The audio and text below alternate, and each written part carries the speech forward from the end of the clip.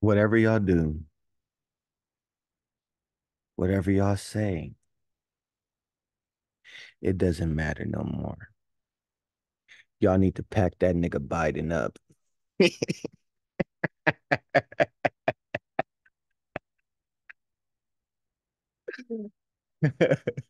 Y'all might as well pack that nigga up, bro.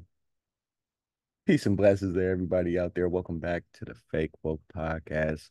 This is your boy Bobby Villain. I am back with another video. I've been on the hiatus, about a three month hiatus. Honestly, I wasn't thinking about really making any content uh anytime soon, especially with YouTube doing the bullshit that they do all the goddamn time. Took down another video. Now I got another strike. Now I can't now I can't post any videos on YouTube. Same shit, different toilet flush.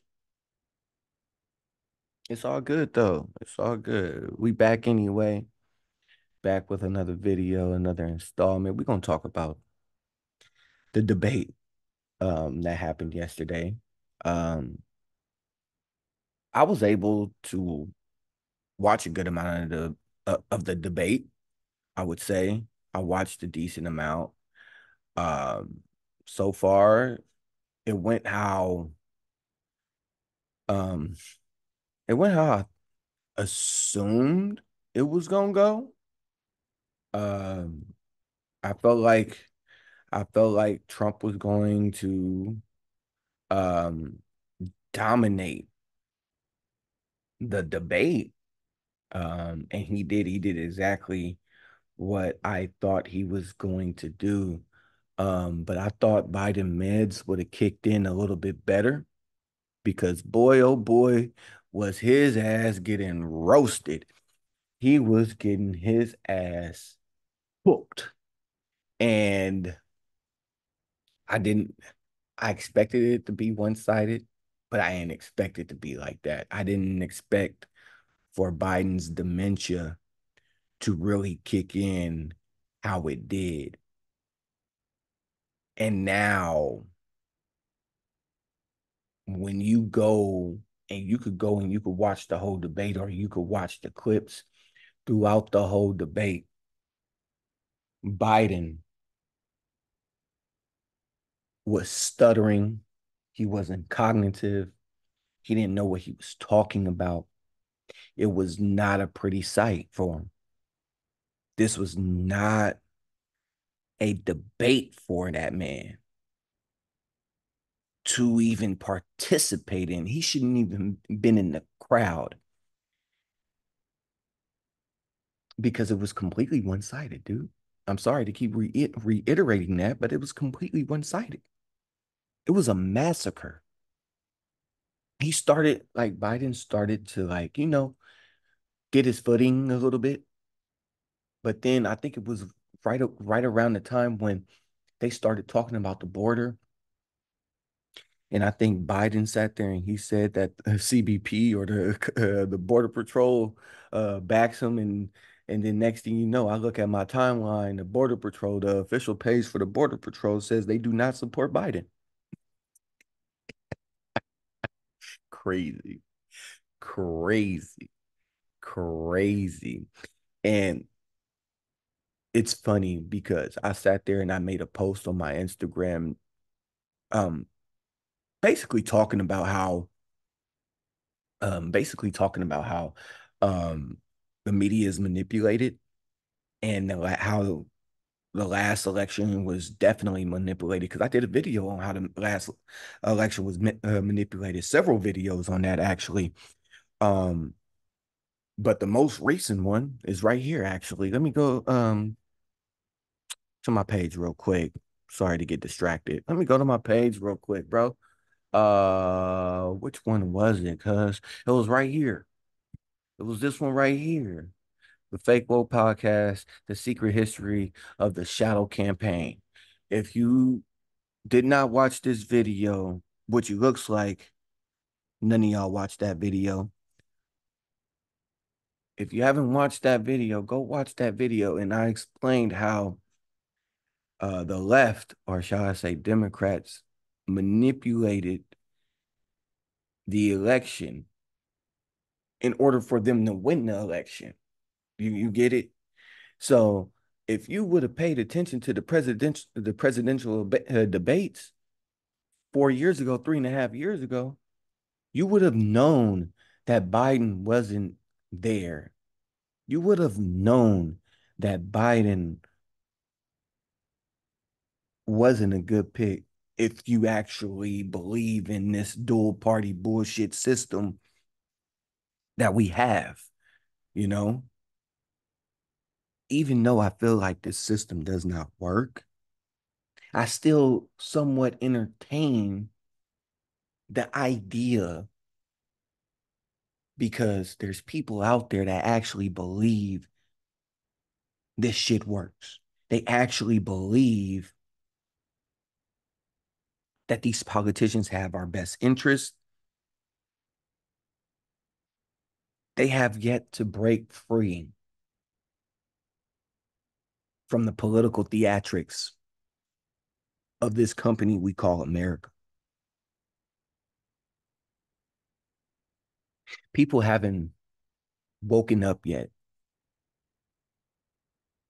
And I don't, don't want to use that. I'm not going to say woken up. People haven't unplugged from the matrix. People think they unplugged from the matrix. They haven't unplugged from the matrix.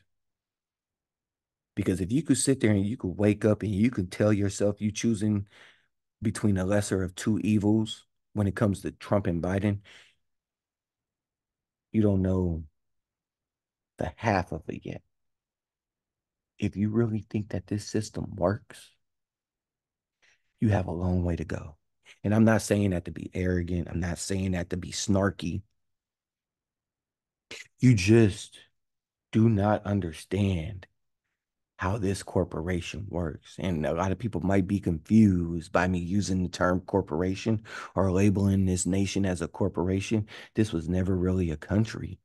This was a social experiment that just so happened to work. And then before it uh, actually became a country country, they turned it into a corporation. Or right when it, I should say, right when it was on the verge of truly becoming a country, 1913, that's when it was turned into a corporation. That's when it was just fueled off of printing money, running up wars, and fucking over the citizens. Excuse my French. But I gotta talk. I got. I gotta actually I gotta actually speak from the heart this time because it seems like there's a lot of people out there that just did that that don't get it. And I'm not about to keep telling you, I told you this, I told you this, because people don't want to hear that. Y- y'all would rather see it than have somebody tell you before it happens, and then you act surprised when the shit happens. So we're gonna keep that, we're gonna keep that going. But I'm to get back to the topic. We're to talk about this debate for a little bit. I'm to show you a couple of clips, not necessarily from the debate, but from the co commentary. And this is how you going to know that it does not look good for Biden. And I'm going to give you my personal opinion on that a little bit after these clips. Okay. So we're going to restart this bad boy. Everyone he goes through six days of preparation a Camp David. More than that. And they know the rules. more than a week. Okay, they, and so more than a week. They know the rules. He practices with the mics. He knows every one of these questions is coming. And yet he couldn't fill the time. Now that I, I just want to, let's see what the White House is saying. Did y'all hear that? Did y'all hear that? Biden knew what questions were coming. Biden already had the questions. Biden already had the answers. And he was still fumbling. He was still fumbling.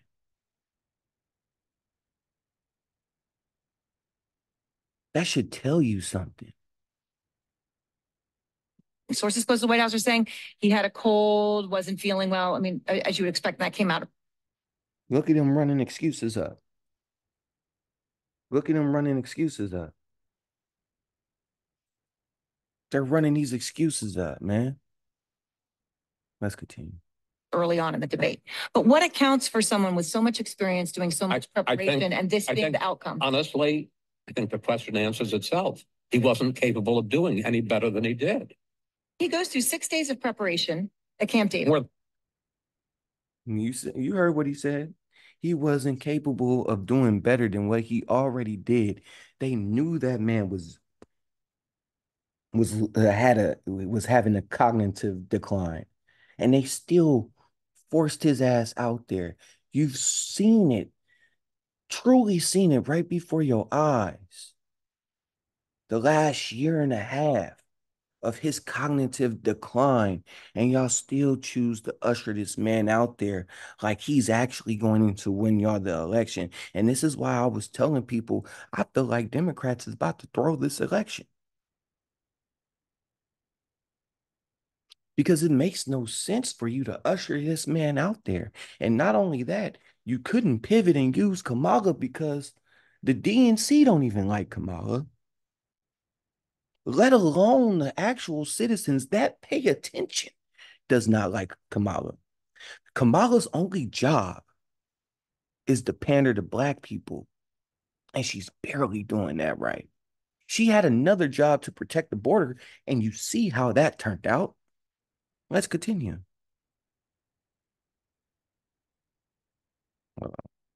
Their campaign has been trying to paint a, you know, one of the things was, would either candidate look like the caricature that the other campaign has been trying to paint of him?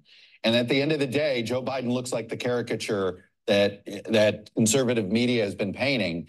Uh, and there were no clips tonight, right? This was, you saw it before your eyes. Look, I, I'm, I don't want to just tell you, That's what I was saying.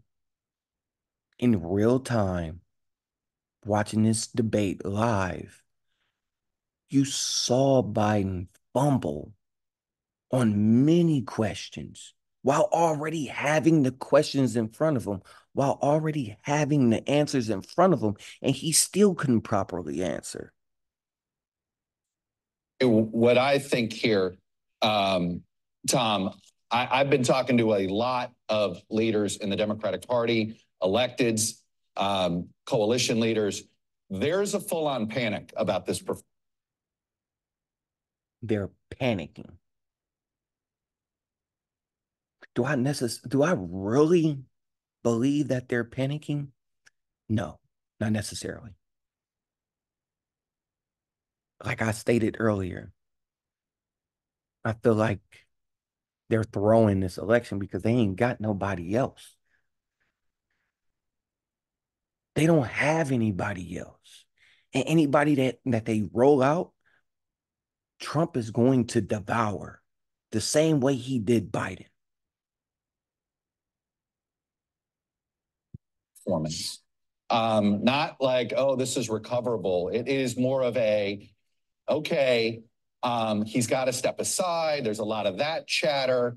Um, this is this is about as bad of a of a performance in order to uh, that Biden could have delivered uh, in if his goal was to try to sort of calm the waters among Democrats. I mean, look, there was you know He didn't calm any waters. Matter of fact, I think right before the debate, and this is how I knew for a fact they weren't confident in in Biden's um um um, um in Biden as a candidate because they went to their typical calling card in order to engage black people into voting they're getting the rappers to come co-sign. They're getting they about to get the athletes to come co-sign. You about to see these sports analysts like the Stephen A's come and co-sign for Biden. If they get the call if they if that check clears because let's be honest you really think these celebrities are co-signing these politicians without getting receiving a check a lot of these niggas excuse me a lot of these people and a lot of these celebrities that you that you see co-signing these democrats they don't they don't really they don't really side with them like that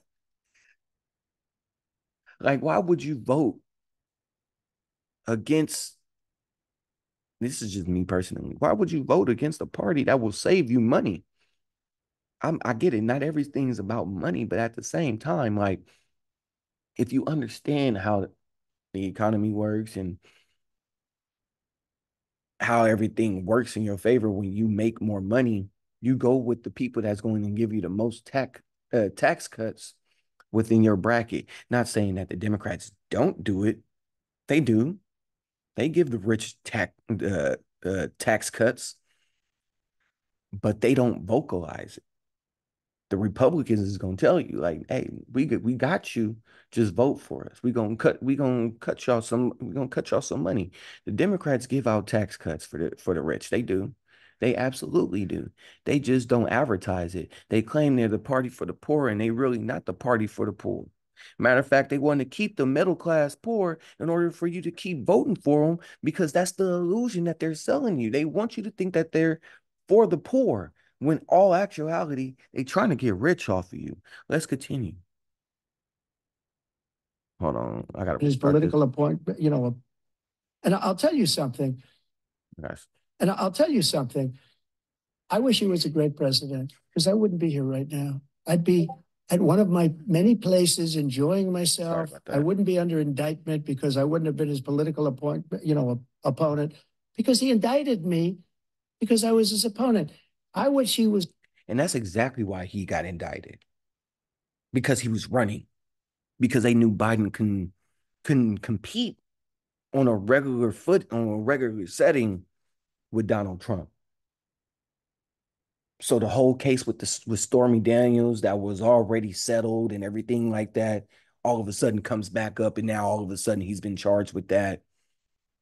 Several other indictments. They was doing that for this man to spend his campaign money, which would have been a clever trick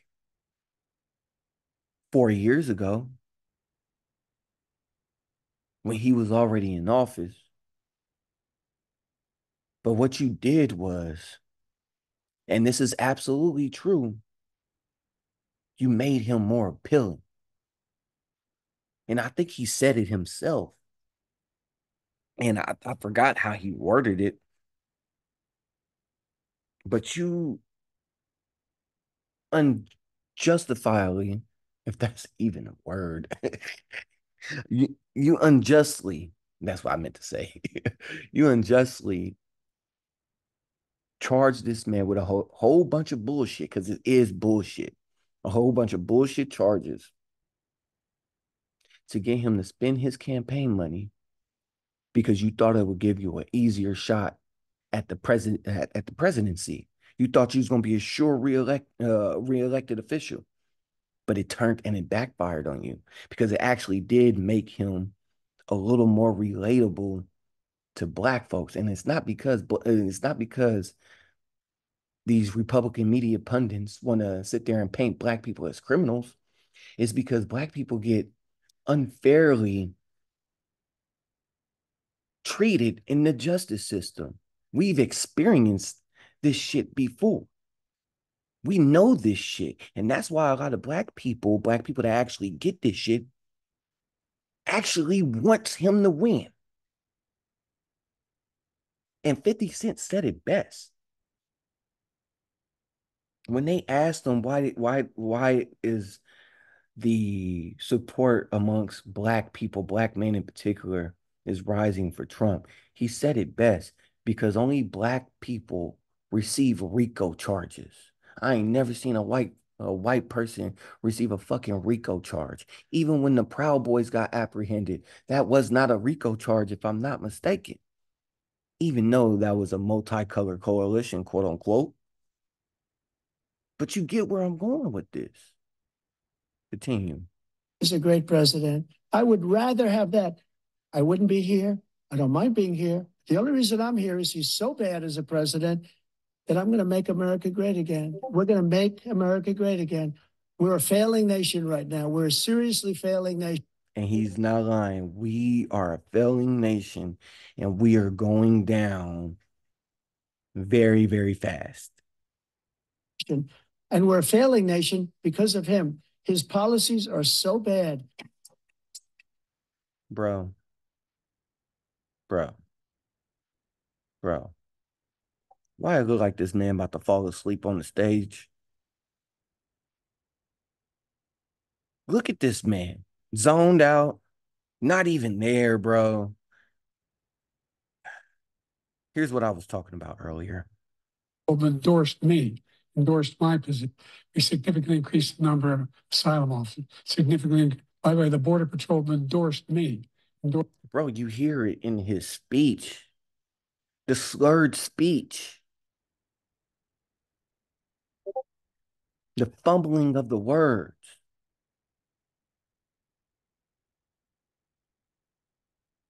The man is not equipped for this. He wasn't equipped the last four years.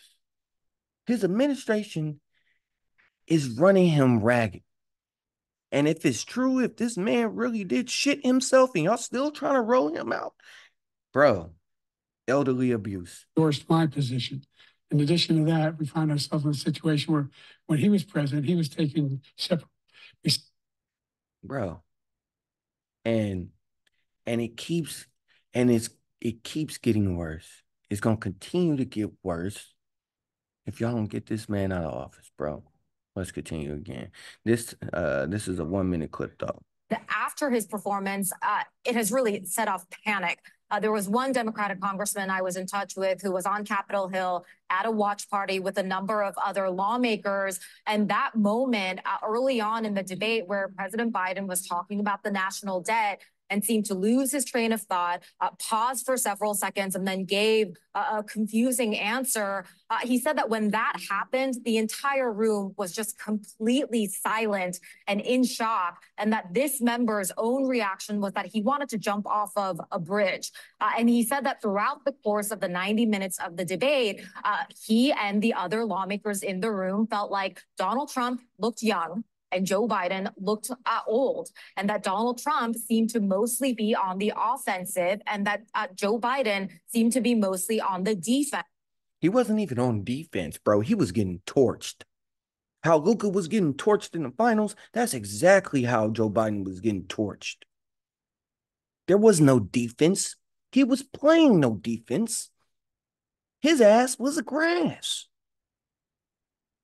As Kendrick Lamar, the great Kendrick Lamar said, Trump was out there whooping feet.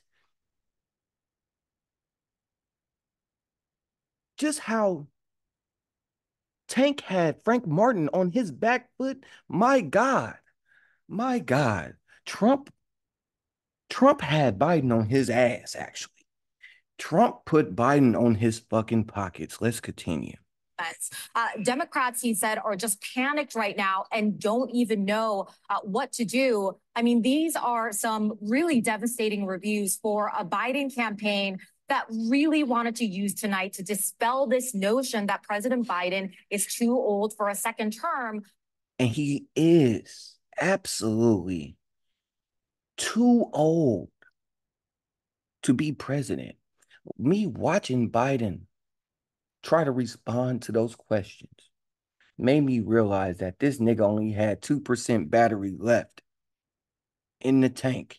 This nigga's about to be obsolete, bro. If you understand what I'm saying. And I hate to say it like that, and I hate to drop the N bomb, but he's about to be obsolete. He got one foot in and one foot out, and it don't look good. And I'm not saying that to be funny. I'm being honest. I'm just being honest. And Kamala knew. The media knew. They knew about his cognitive decline, bro. But they still ushered his ass out there. And that's that's horrible. And like against Trump. And Trump was really the worst person you you can try to argue with. Because he gonna hit you with a bunch of side notes and he throwing shots at people that's not even there. That's the worst nigga to argue with.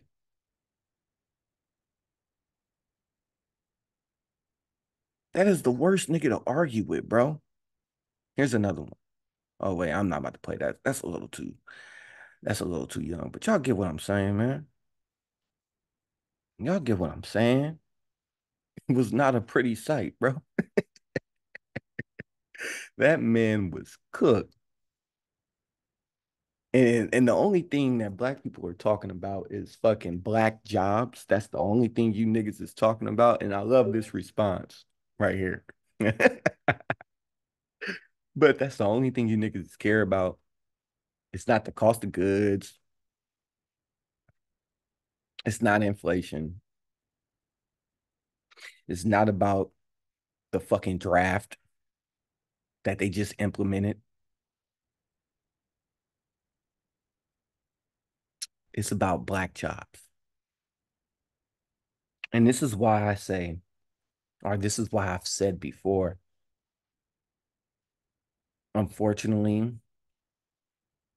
the black demographic, we are politically inept. Instead of worrying about the cognitive decline of your leader and the need to swap his ass out and get him up out of there and get this administration up out of here, you're talking about black jobs. What is a black job? Come on, man. We got to do better. We got to do better, bro. We got to do better. But I'm not making this video um to tell you that Trump is the better option. Honestly, he's not. I don't think so. But to each his own, whatever you want to think, think it. Think it. Um but this system don't work, bro. Sorry to tell y'all that. It don't work. It don't work. This the this debate was for show. It was entertaining, but also was brutal to watch because you really see an old ass man up there just getting grilled and cannot respond. You know? But besides that, that that concludes my video. Um, make sure you like, make sure you subscribe, make sure you share share my content. Um, I appreciate all the people that actually do um view my content. Um, besides that, man, y'all take care of yourselves. Y'all be safe out here, man.